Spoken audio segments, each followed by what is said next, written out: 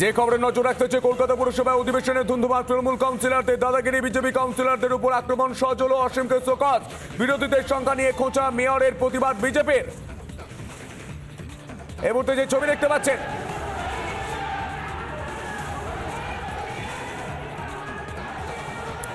পুরসভায় শাসকের মস্তানি এই মুহূর্তে দেখতে পাচ্ছেন, সত্তর নম্বর ওয়ার্ডের কাউন্সিলর, তৃণমূল কাউন্সিলর, যিনি আগে বিজেপিতেই ছিলেন। সেই অসীম বাবু। প্রথম ওঠেন সজল ঘোষকে। তিনি প্রথম ঠিলে দেন।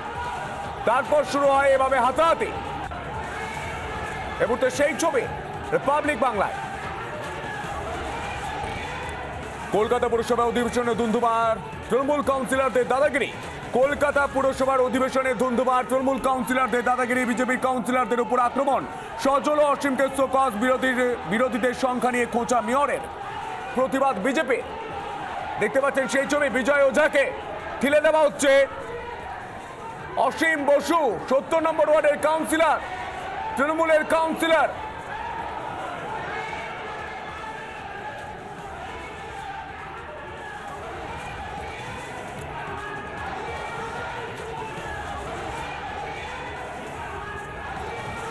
কলকাতা পুরসভার অধিবেশনে ধুন্ধুমার তৃণমূল কাউন্সিলরদের দাদাগিরি, বিজেপির কাউন্সিলরদের উপর আক্রমণ। সজল ও অসীমকে শোকজ করা হয়েছে ইতিমধ্যেই। অসীম বসু, তৃণমূলের কাউন্সিলর, সত্তর নম্বর ওয়ার্ডের কাউন্সিলর। তার বিরুদ্ধে অভিযোগ উঠছে দাদাগিরির। আর এ বিষয় নিয়ে সজল ঘোষ, তিনি ঠিক কি বলেন? শুনব। গত এক সপ, এক মাস আগে হাউজে আমরা একটা প্রস্তাব এনেছিলাম। সেদিন এমআইসি ছিলেন না। স্কুলে বাচ্চাদের জামা কাপড় কেনা, রেনকোট কেনায় দুর্নীতি। সেইটা আজকে, সেটা আজকে উঠেছিল। সেটা উঠবে জেনে যেখানে আমরা দেখেছি রুমানা খাতুন বলে? একজন স্টাফকে তাকে ট্রান্সফার করা হয়েছে পানিশমেন্ট দেওয়া হয়েছে আমরা দেখেছি আমরা দেখেছি এ বিষয়ে তিনি আমাদের মেয়রের যিনি ওএসডি তার বিরুদ্ধে অভিযোগ করেছেন। এবং আমরা দেখেছি তিনি সিএম অব্দি কমপ্লেন করেছেন। আজকে এই অভিযোগটা উঠবে বলে একদম অকারণে ইন ইয়োর প্রেজেন্স চেয়ারম্যান মেয়রের সামনে আমরা আক্রান্ত হয়েছি, আপনারা দেখেছেন। গায়ে হাত তুলেছে সরাসরি। কলকাতা পুরসভার অধিবেশনে ধুন্ধুমার সজল ঘোষ অভিযোগ করেন, অসীম বসু প্রথম গায়ে হাত তোলেন। এবং যে বিষয় নিয়ে স্কুলে স্কুলে স্কুলে স্কুলে যেভাবে পোশাক ও রেনকোট নিয়ে কেনার একটা দুর্নীতির অভিযোগ উঠছে এবং সেই অভিযোগ অধিবেশনে আনার চেষ্টা করেন এবং তারপরে এই এই এই ছবি এই ছবি গোটা বাংলা দেখে।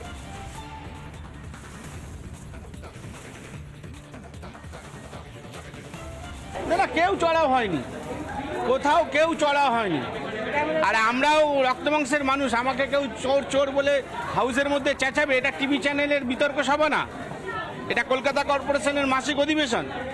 সেখানে তার কাছে প্রমাণ থাকলে দেখাক, তার বক্তব্য তাহলে বলুক, তার প্রশ্ন থাকলে করুক, কিন্তু অযথা চোর চোর বলে চেঁচাবে কেন?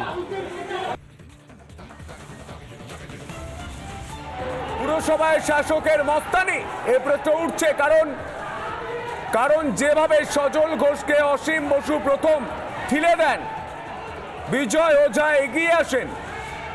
দিনভর যে ছবি গোটা বাংলা দেখেছে, কলকাতা পুরসভায় যুদ্ধ, একটা ঐতিহ্যশালী পুরসভা, সেখানে হচ্ছেটা কি? দেখতে পাচ্ছেন সেই ছবি।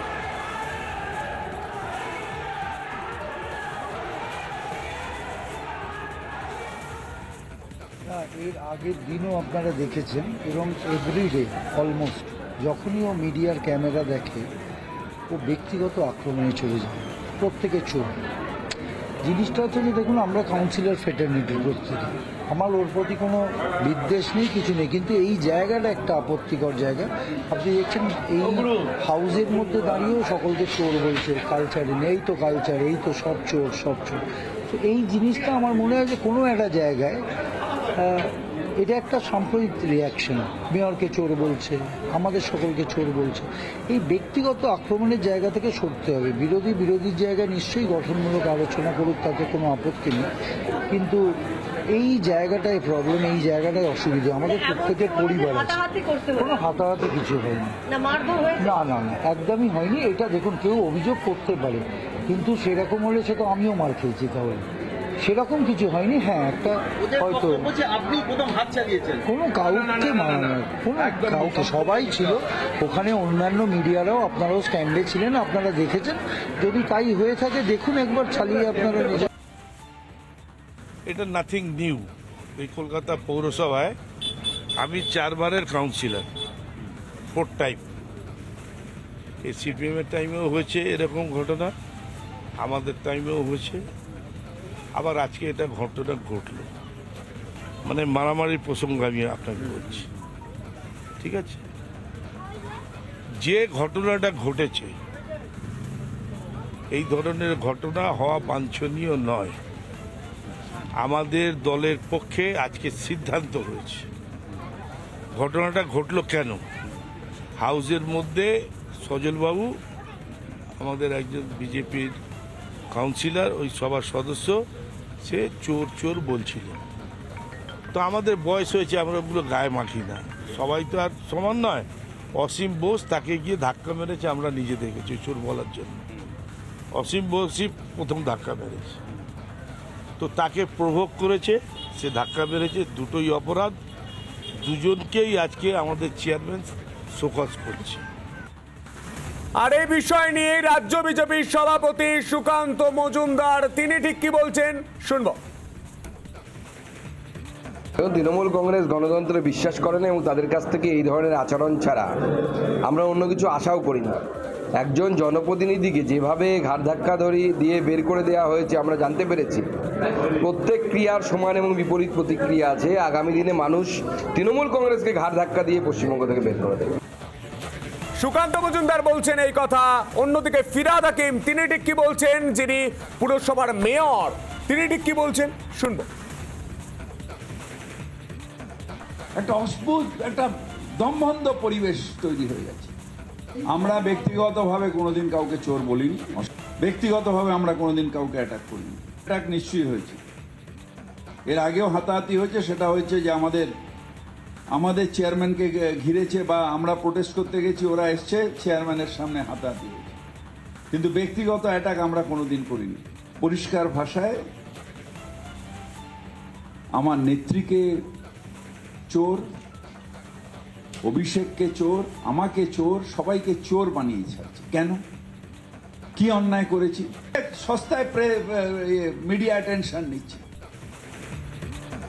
মেয়রের বক্তব্য শুনলাম চেয়ারপারসন মালা রায় তিনি ঠিক কি বলছেন এই ঘটনায়? শুনব।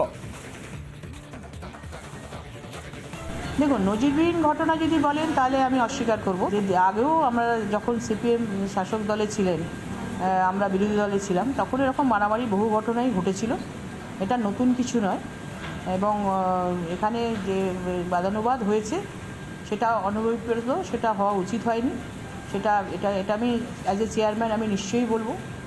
আর আমরা যাদের যাদের মধ্যে হয়েছে শাসক গোষ্ঠী এবং বিরোধী গোষ্ঠী দুজনকেই আমরা শোকজ করছি। এই ঘটনায় কংগ্রেস কাউন্সিলর সন্তোষ পাঠক তিনি ঠিক কি বলছেন? শোনাবো আপনাদের শুনুন। শুধু সজল ওখান থেকে বলছে যে এটাই কি কালচার এটাই কি কালচার এটা বলার সঙ্গে সঙ্গে তৃণমূলের পক্ষ থেকে দেখলাম যে এসে দু চারজন, আর আমার সামনেই ওকে মারলো। টিএমসি তিন চারজন ছিল ওখানে। ওই যখন সজল পড়ে গেছে, পড়ার পর ও দেখলাম ও কিছু বলল। তার আগে কিন্তু ও কিছু বলেনি। আগে থেকেই মনে হচ্ছে যে প্রি প্ল্যান বা কিছু ছিল না হলে এরকম কোনো দিন এরকম ঘটনা ঘটেনি এখানে।